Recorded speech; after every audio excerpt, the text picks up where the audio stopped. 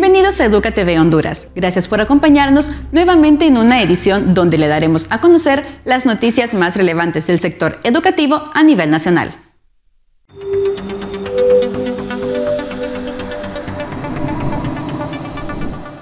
La Universidad Nacional Autónoma de Honduras entrega al país nuevos profesionales en distintas áreas de profesiones. La UNA realizó esta semana una serie de jornadas de graduaciones en Ciudad Universitaria, donde se graduaron alrededor de 2.180 nuevos profesionales. Parte de las facultades que entregaron sus graduandos son Facultad de Ciencias Económicas, Administrativas y Contables, siendo más de 600 alumnos egresados. En la segunda jornada tuvieron su graduación la Facultad de Ciencias Jurídicas, Facultad de Humanidades y Artes y la Facultad de Ciencias Especiales con más de 400 graduandos.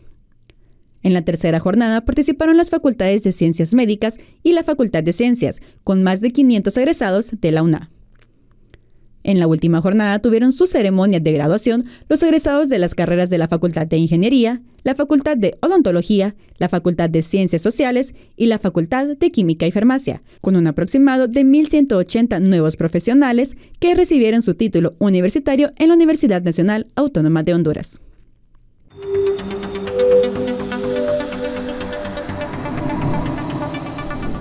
16 equipos de cinco departamentos del país participan en la quinta edición del WRO Honduras My Robot My Friend. Honduras STEM Foundation, organizadores de competencias de robótica para el país, llevó a cabo la quinta edición de WRO Honduras en el Polideportivo de Unitec en la ciudad de Tegucigalpa. Nos sentimos sumamente emocionados de encontrarnos realizando la quinta edición del WRO Honduras, uno de los programas de Honduras STEM Foundation que inició desde, desde el 2017 y a través del cual y junto con los otros programas que tenemos con First Lego League hemos recibido más de 840 jóvenes y niños de Honduras de 13 de los 18 departamentos. Para esta edición tenemos 16 equipos de 5 departamentos del país que han desafiado todos los obstáculos, los obstáculos que dejó la pandemia, que dejaron los huracanes, que, que tenemos en este momento por, por la tormenta tropical, pero están aquí para presentarse a competir por una oportunidad de tener el honor de representar a Honduras en Alemania. Pero más que eso, lo importante es todo lo que ellos adquieren a través de participar en estas competencias. Cada uno de esos niños y de esos jóvenes que vienen desde 8 hasta 18 años, porque tenemos tres grupos de edad diferentes, se han preparado por mucho tiempo, por muchos meses, han sacrificado muchas cosas para prepararse, no solamente adquiriendo conocimientos a nivel académico, en armado, en programación, sino que han ido desarrollando habilidades blandas como pensamiento crítico, resolución de conflictos, trabajo en equipo, manejo de su tiempo, porque dentro de cada programa que tenemos de competencia tienen que trabajar en base a un tema. WRO es una plataforma de competencia internacional que Honduras STEM Foundation organiza desde 2017 y a través de la cual ha puesto en alto el nombre de Honduras con la participación de ocho equipos en cuatro finales internacionales y un Open internacional. El tema del WRO de este año es My Robot, My Friend y el objetivo es demostrar cómo los robots han mejorado la vida de los humanos. entonces, en la categoría de Future Innovators, que abarca tres grupos de edad y tenemos desde los ocho años niños participando, ellos van a presentar proyectos enfocados a esto, cómo los robots pueden hacer mejor la vida de los humanos. Entonces, nuestros participantes se forman de una manera integral. Ninguno de los que pasa por una competencia organizada por, eh, por Honduras STEM Foundation sale igual porque son niños que adquieren todas estas habilidades que le mencionaba antes, tanto académicas como blandas, y también se preparan como gestores de las soluciones a los problemas globales, no solamente problemas de su comunidad, que es muy, importante que los vayamos formando como actores importantes de la sociedad, sino también de problemas globales. Así que por eso se diferencian nuestros participantes del resto y por eso soñamos que un día todas las instituciones educativas de escuela, colegios, bachilleratos profesionales, escuela pública, escuela privada, universidades sean participantes de nuestras competencias, porque ninguno de los que pasa por aquí sale igual. Y además de eso, yo creo que todos sueñan con el honor de representar Honduras. Un equipo de todos los, de los 16 equipos, mientras cumpla los requisitos de puntaje mínimo para poder tener el honor de representar Honduras, va a ser elegido como el que va a representarnos en noviembre próximo en Alemania. De esta competencia se elegirá un ganador, que será quien podrá representar a Honduras en el World Robot Olympiad en Alemania. Lo mismo que nosotros hacemos aquí, vamos a la final internacional del WRO. WRO significa World Robot Olympiad. Es una organización que tiene su sede en Singapur y cada año cambia la final internacional. A través de la organización de estas competencias nacionales, nosotros logramos que Honduras tenga un puesto en una final internacional y con el WRO ya hemos tenido representación en el 2017 en Costa Rica, en el 2018 en Tailandia, en el 2019 en China y en Hungría y ahorita la del 2020 debido a la pandemia se canceló. 2021 tuvimos una final internacional virtual totalmente. Todos los países estábamos virtualmente y ha sido la mejor representación de Honduras. Eso es muy importante. Tuvimos un equipo de tres niñas entre 11 y 12 años que quedaron en séptimo lugar de su categoría y lo más emocionante es que Honduras obtuvo el puntaje más alto de América. Por debajo de ella quedaron países como Estados Unidos, Canadá, Costa Rica y eso nos llena de orgullo de ver que cada vez nuestras representaciones mejoran su nivel. Así que estamos muy optimistas de que vamos a tener una excelente representación en Alemania en noviembre próximo. Honduras STEM Foundation es una organización sin fines de lucro que desde 2017 contribuye a la aplicación de la educación STEM a través de programas de competencias de robótica, habiendo organizado hasta este momento ocho competencias nacionales y por su gestión 11 equipos han representado a Honduras en ocho competencias internacionales.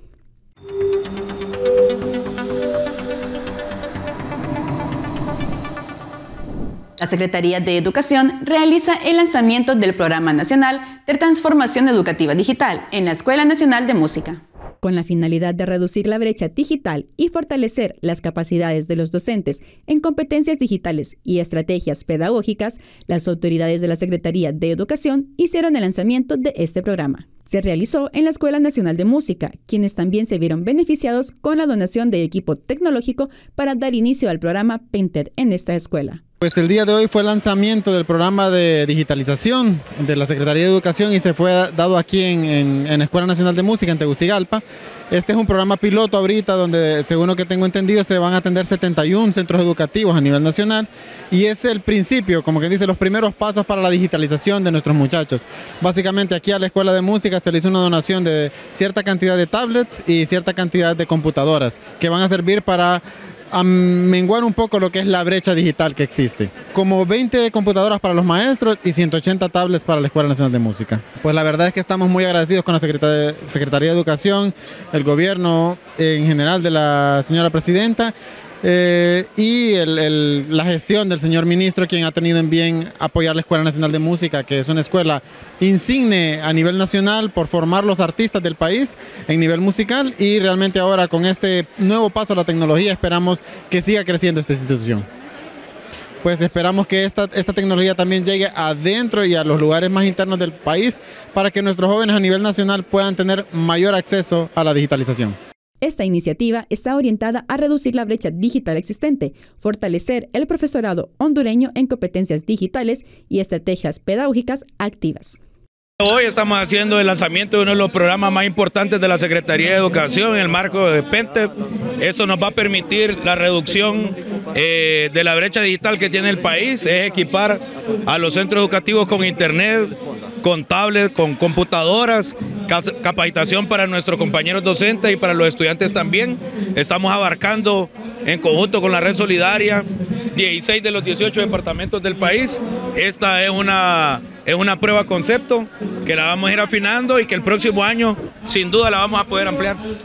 La primera prueba concepto del programa se ejecutará en aproximadamente 71 centros educativos rurales y urbanos en 16 de los 18 departamentos del país.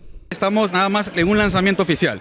Son varios centros educativos, estamos beneficiando a más de 10.000 estudiantes en esta primera fase que vamos a impulsar en 37 municipios del país, 17 departamentos, con presencia en 17 departamentos, y eso nos llena de mucha emoción y, sobre todo también que estamos llegando a comunidades muy alejadas, que quizás niños que nunca habían tocado un dispositivo están muy emocionados ahora de poder cumplir un sueño, ¿verdad? Se busca brindar oportunidades a niños y jóvenes hondureños para acceder a una educación del siglo XXI basada en la integración pedagógica de la tecnología. Esta es una iniciativa que busca reducir la brecha digital en el país, que busca justamente eh, pues, generar competencias en nuestros estudiantes, que los capacite a ser ciudadanos y profesionales del mundo. Estamos muy contentos porque no solo es la entrega de dispositivos, ni tampoco es la conexión a, la, Internet, sino que también estamos dando un programa integral de formación, de acompañamiento de los profesores, a los directores, para que puedan integrar de forma planificada, de forma intencional y con las bases pedagógicas suficientes la tecnología de las aulas de clase para promover una cultura de innovación en el país y como les mencioné antes, ¿verdad? preparar a ciudadanos del mundo, preparar a nuestros hondureños como esos profesionales que sean competitivos a nivel internacional a través de habilidades digitales y competencias eh, blandas.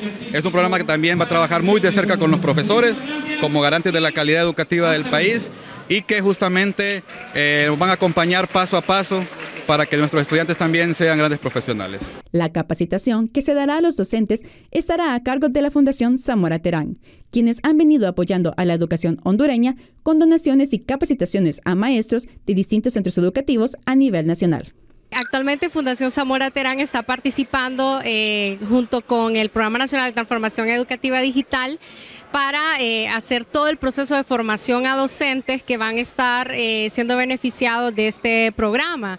Actualmente nosotros como fundación vamos a formar a mil docentes de aquí de Honduras.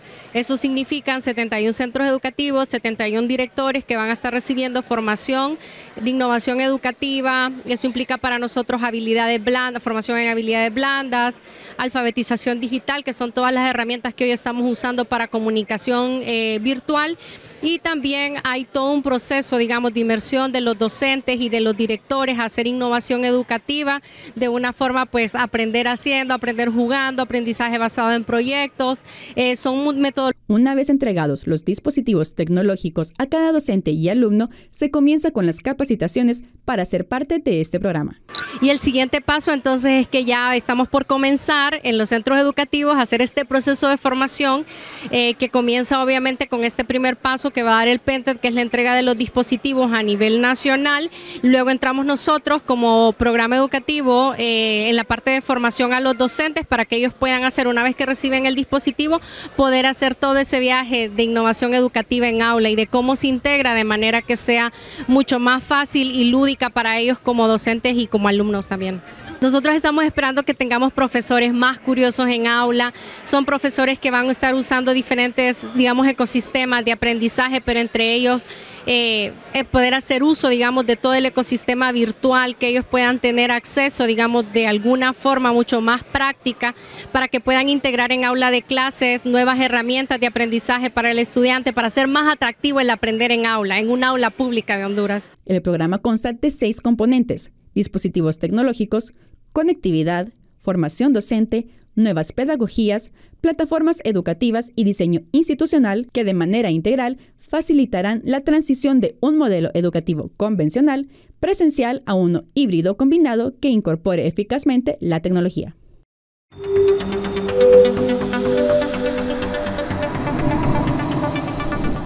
Fundación para la Educación y la Comunicación Social y su equipo de técnicos pedagógicos realizaron varias actividades de capacitación para los padres de familia en la escuela 11 de junio.